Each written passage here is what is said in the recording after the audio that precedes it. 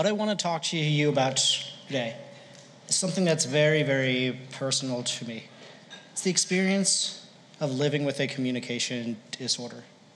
In my case, stuttering. I'll be t- talking about some tidbits that are helpful and some things that you probably don't want to do if you talk to people with communication disorders. However, starting off, I want to set the stage and offer a portrayal that we're going to need to go back in time to explore. Back mm, more years than I'd like to say, back to my high school days. While I was in high school, growing up in western Pennsylvania, we spent a lot of time on a friend's farms. So the transition out to Idaho was a pretty easy transition. One time, coming home from a friend's farm, a friend of mine was driving his car on a gravel road, driving way too fast, ended up losing control of the car. The car rolled and rolled and rolled and rolled four times, ending up on its hood, pushed up against a telephone pole. My friend had a cut across the top of his head, bleeding a lot. Had to take off my shirt, wrap his head to stop the bleeding. Fortunately, we did have cell phones. Took out my cell phone. It was kind of a Zach Morris style cell phone at the time, called 911. The 911 operator hung up on me. I called back. She hung up on me again. I had to try to get my friend to be aware enough to tell the operator that I stuttered, a 911 operator finally let me speak after someone else told her that I stuttered. I didn't know if my friend was going to survive, how much he was bleeding, what was going on. In that state, I was trapped. So I'm not only going to be talking about the, the, those aspects, I'm going to be talking about what you can do as listeners to support those of us with communication disorders also. In being a speech language pathologist, an academic faculty member who studies this area, and a person who stutters, I have the opportunity to be an, an educator, an advocate, and I want to impart some of that experience in helping you all increase your understanding for people with communication disorders. And through some experiences that I'm going to ask you to have, hopefully gain some empathy too. Starting off, it helps to talk about what stuttering is. So, when we talk about stuttering, we conceptualize it in this iceberg. 10% of the iceberg is what's above the surface of the water, which is what we can see. In stuttering, it might be repetitions, prolongations, or blocks, where we just get stuck on what we're trying to say. We might even get stuck to the extent that we have to force it out or try to force it out. Pushing our arms out, smacking our hands against our legs, something else to try to get us out of being frozen. So, stuttering is an intermittent involuntary neural motor disorder. A lot of words there. What it essentially means is we know what we're trying to say, we know how we're trying to say it. We just get stuck in that moment trying to actually produce what we're trying to say. So, those observable features, those overt characteristics, are what we think of with the top of the iceberg. However, as you can tell, there's 90% of the iceberg below the surface of the water, submerged, that we can't see, that we don't often talk about. That's the shame, the guilt, the feeling that we're inferior, how we think about ourselves, how we feel about ourselves, how we choose to interact with our social world.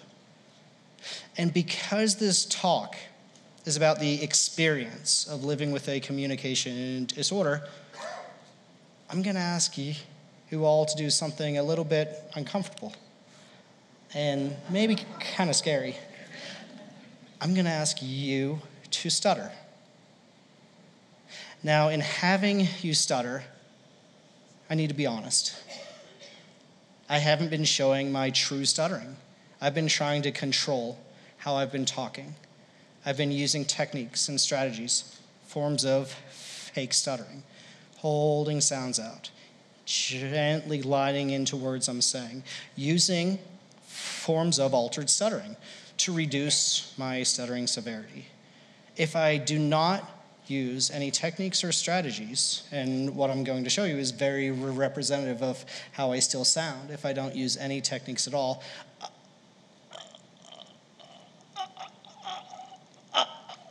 I sound like that. And I stutter on most every word in a sentence. So that's very hard what I'm going to ask you to do.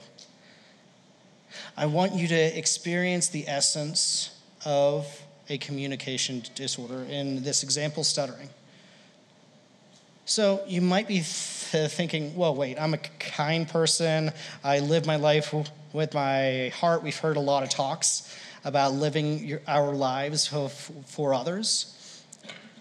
When we have friends, spouses, ch- children, parents, friends, clinicians, teachers put themselves out there and experience this vulnerable state of stuttering, clients who stutter report it increases the relationship, it strengthens the relationship. They're no longer isolated, they feel supported and understood. So, for the purpose of this activity, it's okay. I give you permission to stutter and do a great job stuttering too. Have as many secondary stuttering behaviors as you want. Uh, really toss yourselves in there. However, if you meet someone or the next time you meet someone with a communication disorder, probably not a good idea to just switch back to your stuttering state. So, I want you to turn to the people around you. Introduce yourselves. Tell them what you've gained from this TEDx experience so far with some great stuttering. And after that, I'm going to ask you to just shout out some things that you experienced just then in that moment. So take about 30 seconds, turn to the people around you, and stutter.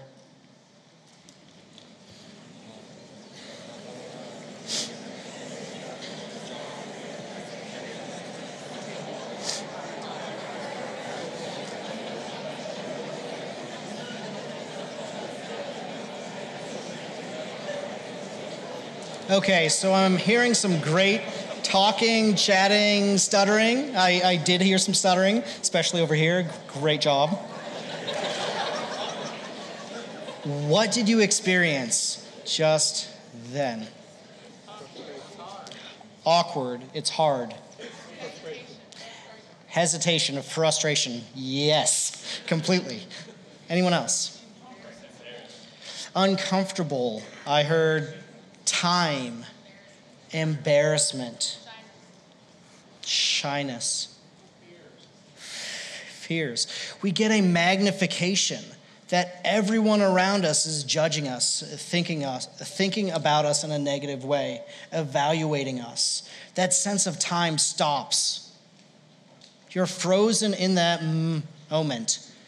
You feel like this is taking forever. I, I can just switch back. I can start talking. Why am I doing this? that self judgment, that anxiety, that frustration. People who stutter often describe feeling less than human. Less than human because of that self judgment. Less than human because of what we perceive others are evaluating us as. Less than human because the reactions we receive. Having people laugh, mock, make fun of us. Ask us if we know our name. I do promise you, I know my name. The moment of stuttering is often described as the feeling of drowning. You can't touch the bottom, can't get your head above water. You're trying to gasp to survive for one second longer. Now, imagine someone on the side of the pool offering advice to that individual. Take your time, breathe. It's easy. Put one arm in front of the other. You, you know how to swim. This is what it comes across for people who stutter. Not the value of what we're saying, but a focus on how we're saying it. So we should shift. Focus more on the content, less on the delivery. You're probably also thinking, wait, some stuff's just not adding up here. You're sounding kind of in control of your stuttering. It's sounding like you're a confident speaker. Where's, and you presented us this very overt, severe stuttering. Why is this not adding up? As individuals who stutter, we go through a process of self discovery through clinicians. So, clinicians are not going to cure people who stutter. 8 to 12% of the world's population will go through some stage of stuttering, typically early developmental before around the age of five. Of that 8 to 12%, 80% will spontaneously recover within a year of a year and a half of onset of stuttering. So they're no longer stutter, regardless of type of therapy, if they've went to therapy or if they haven't went to therapy. However, those of us who continue to stutter and have chronic communication disorders throughout the lifetime, our job as clinicians is not to cure them. It's to help them become more open and accepting of who we are as individuals and about our communication disorder. We want people to be more confident speak how they want, when they want, to who they want, while still effectively managing their stuttering. So we don't cure people, we offer them the opportunity to set the stage for how they communicate through things like fake stuttering. All of our strategies and techniques to be more in control of our stuttering are altered forms of stuttering. I know, kind of ironic, isn't it? We also can have people use disclosure, disclosure statements. Say, Hi, my name is Dan, and I stutter. If you ever need me to re- repeat anything, just let me know. Or, ha ha ha, hi, my, my, my name is Dan. It's great to meet you. By approaching communication confidently, openly, and stuttering. We set the stage for how we expect people to respond to us. If I don't show I'm ashamed of my stuttering, if I don't show that I feel guilt for my stuttering, I'm not embarrassed by it, why should you be as the listener? So, the, this comes with a cost, though. When I use techniques, when I use strategies, it feels like I'm uh, putting on an act. I'm not portraying my true self to you. Imagine going through life, planning what you're going to say and how you're going to say it in all aspects of your life. It comes with pros and cons. It's a dichotomy. It may increase confidence as well as decrease confidence. It may increase self worth, it may decrease self worth. It may decrease anxiety, it may set unrealistic expectations, therefore increasing anxiety. The amount of energy and uh, cognitive effort it takes to enact some of these things on a daily basis is very representative to asking all of you to not use a word with a letter S in it from now until 20 years from now. Imagine how much energy that would take. Constantly planning, changing, revising, not saying what you want to say, becoming socially recluse, impacted, changing how you think about yourself, how you feel about yourself. So the next time you talk to someone with a communication disorder, let's have some patience. Be there with the individual. Be present with them through their struggle. Maintain eye contact, a relaxed posture. Give them the time that they need. It might have taken them a lot of courage to come up and talk to you. So it's a very meaningful conversation, or could be if we give them the time. We all love to play charades. Who doesn't like to try to f- figure out through gestures what someone else is saying, especially if it's just on the spot, random? However, I would ask please, please let us finish our sentences.